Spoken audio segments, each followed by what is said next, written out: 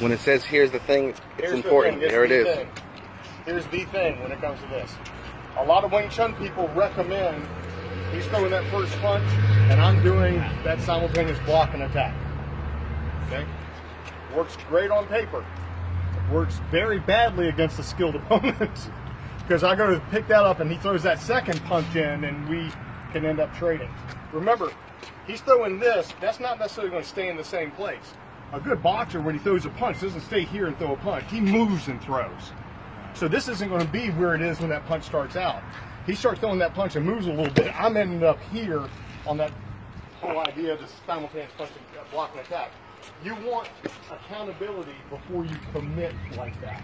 So he throws that first shot, I'm picking up. Now when the second shot comes, there's a couple of things.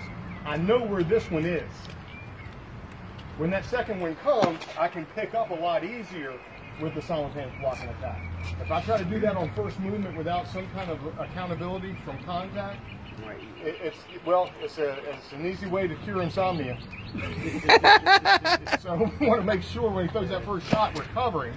Now, if I look at where I'm at here, unless he does one of those crazy spinning techniques, his attack, whether it be a straight punch or a hooking punch, is going to come on this side of this hand. So it makes that less of a guessing game as far as picking up that next shot. So as he throws, I'm, I'm picking up on the first one, and notice I'm not swatting this across, leaving him free on either side of his hand. When I pick this up, I'm coming towards him here. Now when he throws that next shot, I'm already here anyway. I'm already close on this. So I'm not having to cover a whole lot of distance on that. And we're looking at soft targets. We're looking at throats, eyes, things like that. So when he Ah, that was a plug one- for the book. Yeah. You heard that, right? Yeah. Soft target, hard target, available on uh, Amazon.com. Anyway. but don't get me mixed up if you search hard target. When Van Damme comes up, our hair is completely different. Anyway, as he throws, I'm here. That next one comes in, I'm already on top of him with this. You pick up the first one with a jump. I pick up the first one with anything I can get in front of that damn thing.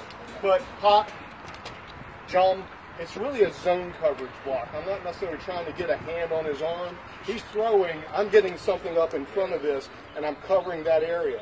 Now when the next one comes, this becomes a lot easier. A thumb in the eye. Nothing says leave me alone like a thumb in the eye. Next book. Coming soon. All right, guys, grab a partner.